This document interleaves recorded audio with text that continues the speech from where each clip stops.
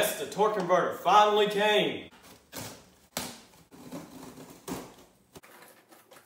More stickers, destructions, cover. Uh, we got our belt. Uh, we have our sprockets slash hardware. Oh, rear part uh, with the 420 gear on here, which is what we need for this four-wheeler. Bag came with 35. And the front pulley. So yeah, that's pretty much it. Oh, magical side cover. I command you to come off this instant.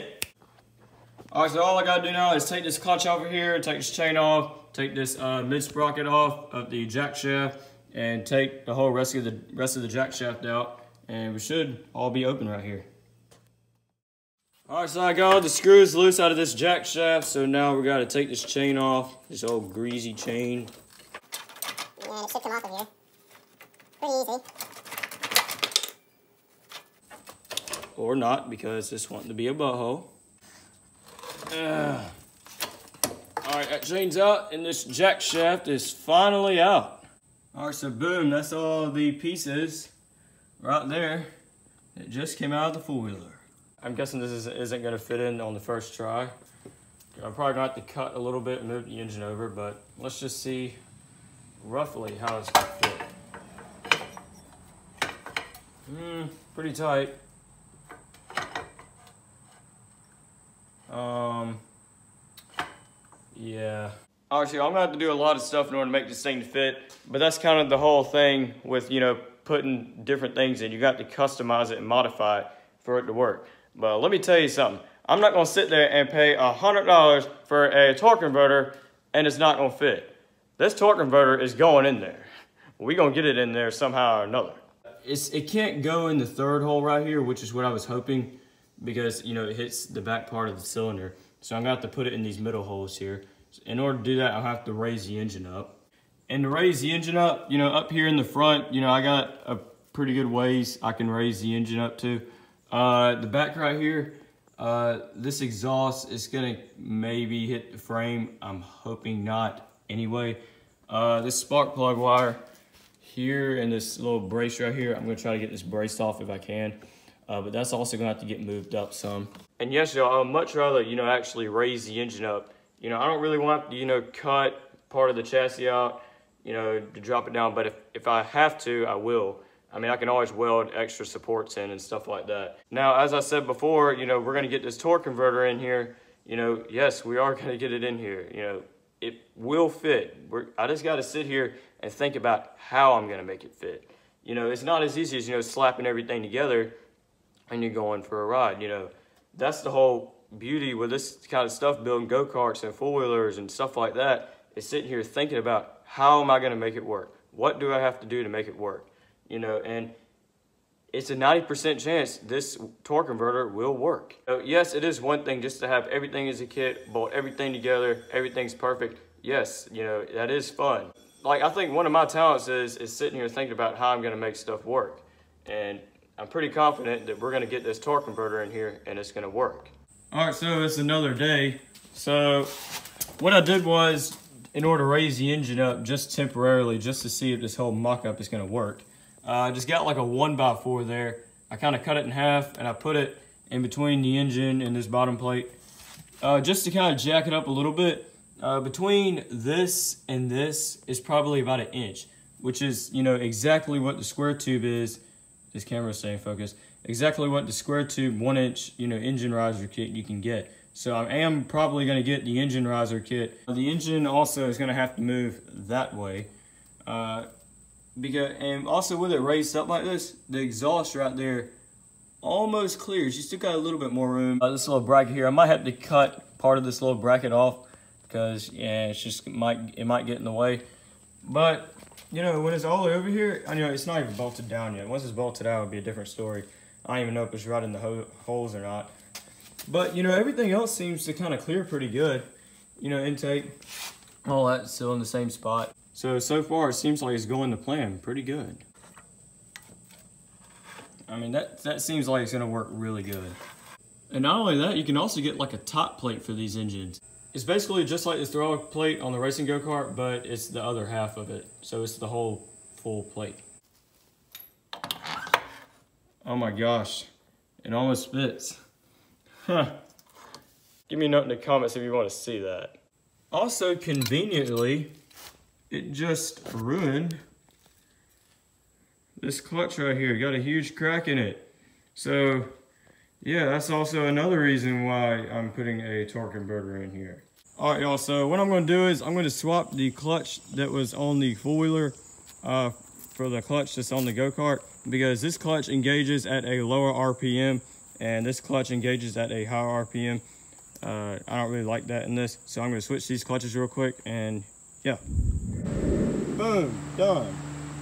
All right, so boom, the engine riser kit just came. All right, so I just went to Lowe's and got some new bolts, some new longer bolts because the other ones wasn't long enough. So let's go put it on the four-wheeler now.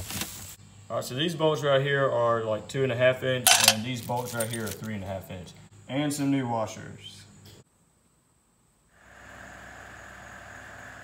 All right, y'all, it took me a while in order to get those spacers in there because some whatever reason, this didn't want to line up right. And, you know, long story short, I had to go out and buy more bolts. I already told you that. And, you know, I didn't really want to go in there. I had to keep hitting it, keep hitting it. It finally went on there. Same with the back. Uh, that took forever. And Plus, the exhaust is kind of hitting up there on the frame. You can't really see it. Uh, I had to do a little bit of trimming over there.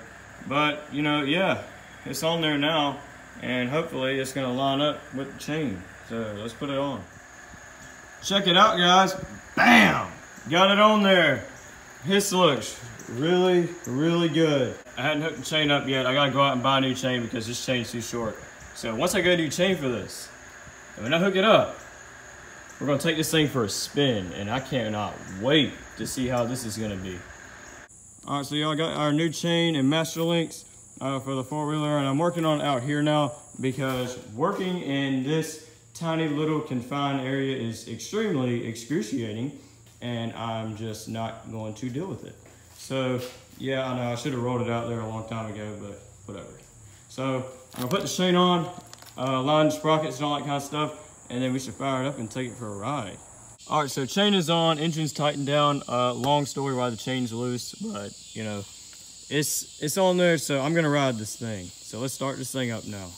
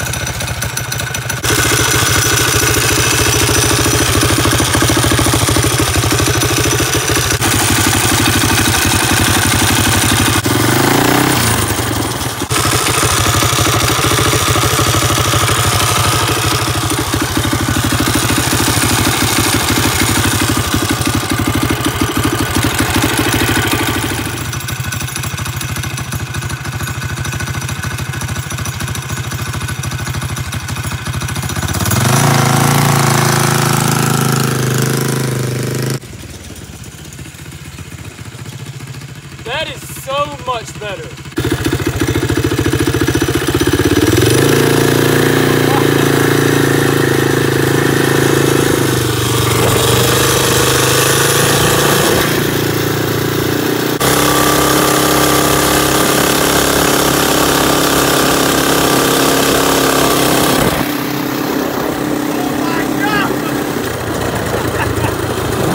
Oh my gosh, this is so much better. It's way smoother. It has so much torque now.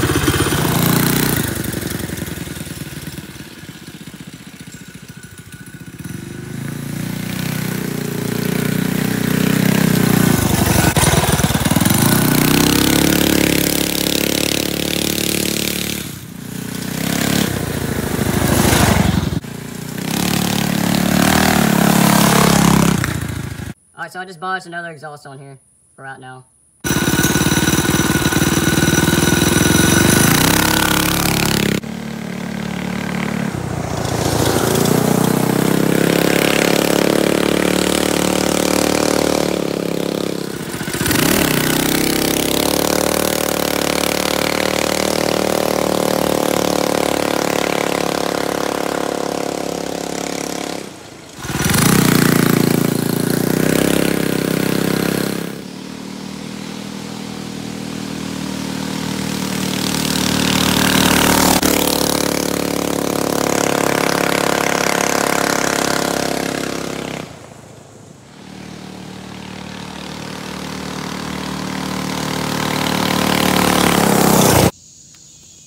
All right, guys, so what happened was the exhaust came off right there, and I was riding it along, and I floored it right there. It was getting on up there, and I was like, I'm like, I thought the engine messed up at the second. But then I looked, the exhaust came down, and it was kind of sparking all right there and stuff, so I immediately cut it off. And yeah, just a little bit, you know, just around that curve, my house was right there. So yeah, so yes, this thing is so much faster now. Like I'll, I'll be getting on it, and the front end will start, start doing all like this. So yeah, stage two and a torque converter, this, this thing is insane. Even with the stage one kit, the torque converter would have been way better. Like I'll be at a dead stop and I'll kind of hit it a little bit anyway, it'll, it'll dang take off. Now, y'all, here's the thing.